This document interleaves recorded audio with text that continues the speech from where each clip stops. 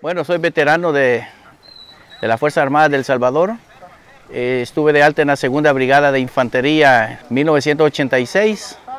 Bueno, vea, eh, cuando uno se le mete algo en la cabeza, los deseos, entonces se hacen realidad cuando uno quiere, ¿verdad? Ah, yo desde la edad de 12 años yo quería ser militar. Me gustaba ver este, a los soldados, el uniforme. Y yo dije, cuando yo tenga la edad, pues yo voy a, a integrar también a la Fuerza Armada. Y bueno, pues a la edad de 17 años con 8 meses eh, fui yo quien se presentó al, al, ejército, ¿verdad? Y bueno, pues así fue como quedé en la segunda brigada de infantería, en el, la segunda compañía del batallón Pipil. Cuando uno llega a esas cosas, ¿verdad? Pues llega un poco tímido, ¿no?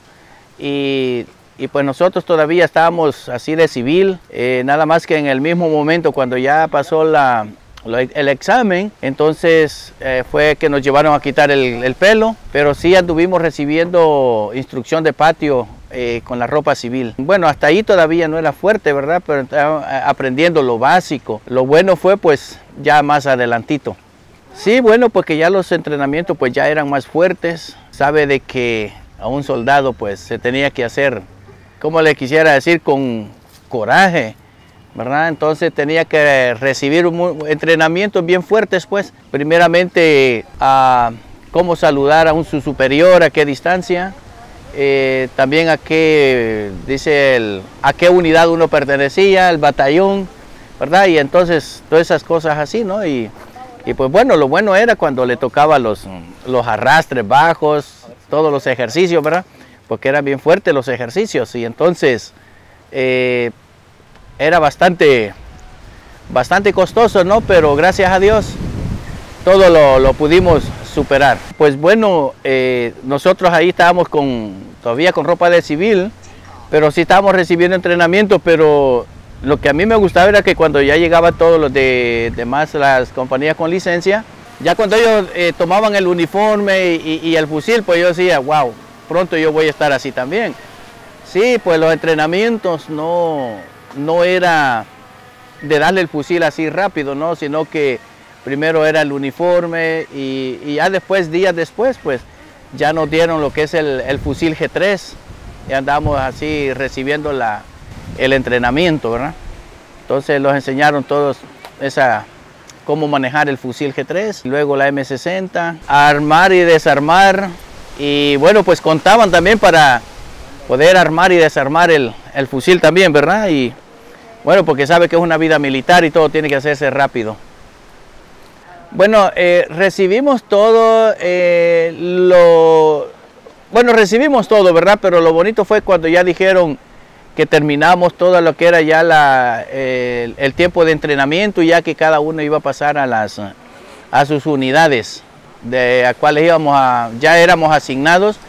Y así fue como me pasaron a lo que ya cuando llegó el, todo el, los batallones, entonces ya sí lo fueron agregando ya de una vez a lo que eran las, a sus respectivas eh, unidades y compañías. Pues no, la verdad Garrote no. Eh, solamente ya cuando venimos a recibir el entrenamiento de, de, armas, pues ya de una vez nos dieron el fusil G3. Y, y ya luego después, ya cuando se fue de baja, la, eh, bueno, las bajas que hubieron y nosotros pasamos a cubrirla, entonces ya lo dieron el M16. Y ya de ahí pues, bueno, es un orgullo, ¿verdad? Como para todo salvadoreño, eh, el poder ser militar y portar su uniforme y portar eh, una arma en la cual pues también es un compromiso, ¿verdad? Porque eh, ponerse el uniforme no es de así por así, no es de cualquier persona, porque hay que de verdad tomar coraje y valentía para estar eh, en un frente de batalla también y aparte de eso un orgullo de estarle sirviendo a nuestra patria, defender nuestra bandera, ¿verdad? De todo peligro de que se puede aproximar. Bueno, la primera salida ya fuera ya cuando, ya cuando estábamos en las unidades. Bueno, eh, recuerdo de que cuando ya pasamos a las unidades, eh, dijeron que necesitaban un soldado más en la cuarta compañía del Pipil, entonces me, pasan para ahí y ya comencé a trabajar con la cuarta compañía. Pero eh, mi primera experiencia eh, de la cual eh, yo creo que a todos nos ha pasado, es cuando me tocó el primer enfrentamiento en el cual yo dije pues que ya no iba a ver a mis padres ni a mis hermanos, pero a la misma vez tomé el coraje y de ahí para acá pues yo ya no volví a tener miedo, pero sí la primera vez yo creo que a todos nos pasa que siempre los da un temor, ¿verdad? Porque ya no vamos a volver tal vez, porque bueno, cuando uno está en guerra pues no es algo que es decir, es un juego, sino que sabemos que es la vida la que está en riesgo ahí. Uh, hubieron muchas experiencias, igual, igualmente en uh, el 21 de octubre de 1987 fuimos emboscados en, la carretera de Santa Ana, Metapán, en, la, en una recta que se llama la recta de San Diego.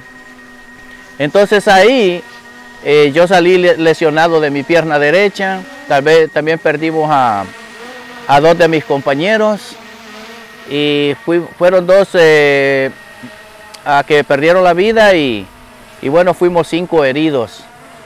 Pero gracias a Dios pues estamos bien. Y de allí pues también allá en Quebrada Seca y yendo para el Senfa también fuimos emboscados Estuvimos, eh, parece que tres horas allí en combates. Estaba la, eh, la Guardia Nacional de, de Contrasubversión, estaba también eh, Caballería, estaba también este, nosotros de la Segunda Brigada, pero como los combates eran bien fuertes, tuvimos que tener el, el apoyo de la Fuerza Aérea también. Y pues ahí también casi, casi que yo pierdo mi pie izquierdo, pues, porque, aunque no lo crea, no sé, no, pero yo hasta todavía me di a donde cayeron dos balazos y eran cuatro dedos de distancia de mi pie izquierdo, pero sí... ¿Perdió su pie? No, no lo perdí, pero caí a cuatro dedos de distancia del pie izquierdo, cayeron dos balazos. Pero no, gracias a Dios no, pues sí fui herido eh, en 1987, pero gracias a Dios yo estoy bien. Fui a... Eh, operado, me sacaron lo que quedó en la pierna allá en, Nueva York, Estados Unidos, allá fui operado. Eh, de? la pierna, donde sacaron este, esquilas de, la bomba cuando fuimos emboscados en eh, la carretera de Santa Ana hacia Metapán. Sí, bueno, nosotros estábamos destacados en hacer Guajoyo. Bueno, la cosa fue así, después de que yo estar en la cuarta compañía del Pipil, eh, sargento de batallón Minileo Carranza me dice, mira Chele, necesito que te pases al comando batallón, al grupo de mando, pues muchos dicen el grupo de los bolsones, ¿verdad? Pero yo no sé por qué dicen el grupo de los bolsones si, si ese, el comando batallón es, es algo muy delicado, es de donde depende toda la seguridad de todo eh, militar que anda en el campo y en las carreteras, ¿verdad? Porque uno tiene acceso a mucha información militar. Entonces, eh, yo no sé por qué le dicen el grupo los bolsones, ¿verdad? Bueno, pues entonces eh, me dice, yo quiero que te pases para ahí. Le digo, pero yo no sé ni hablar ni escribir en clave.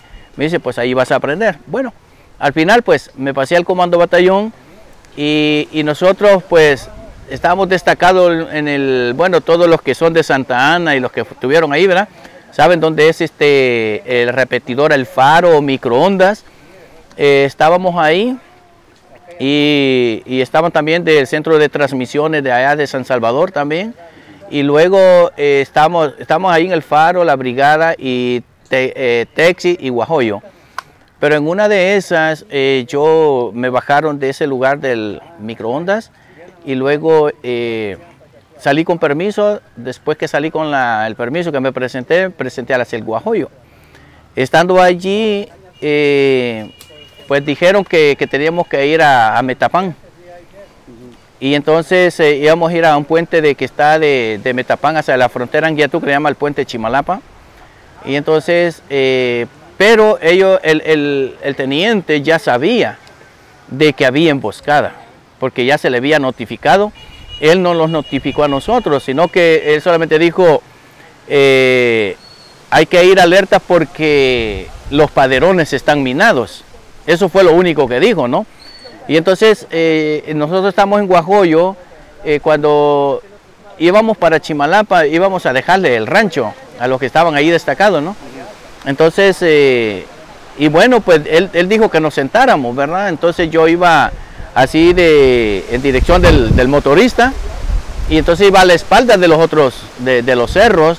Cuando pasamos la, lo que fue San Diego, eh, el desagüe y todo eso, eh, a ratito después cuando cogimos la, la, la, recta de San Diego, a rato pues ya solamente escuchaba que un chillido en los, en los, en los oídos y solamente los fusiles bien despacito los disparos, ¿no?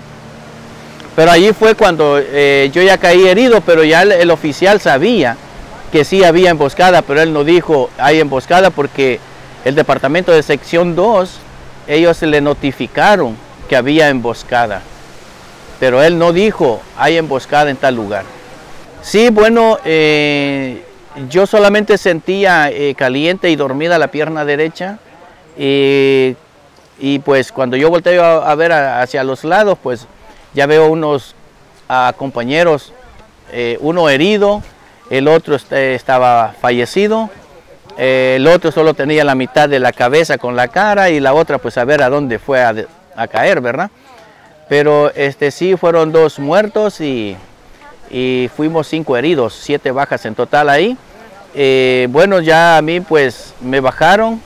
Bueno, siguió el truck caminando, o el camión, voy a decir así. Eh, ya solamente con el lado derecho, solo los rines, porque las, las, llantas las explotaron.